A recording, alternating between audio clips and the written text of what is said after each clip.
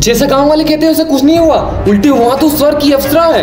तेल मालिश के साथ दवा दारू, सब कुछ फ्री बिल्कुल फाइव स्टार होटल कल तुम लोग को सपना आया था, और हमको सपने में सपना आया था। इससे तो ये बात साबित हो गई कि ये कोई सपना नहीं, सच था।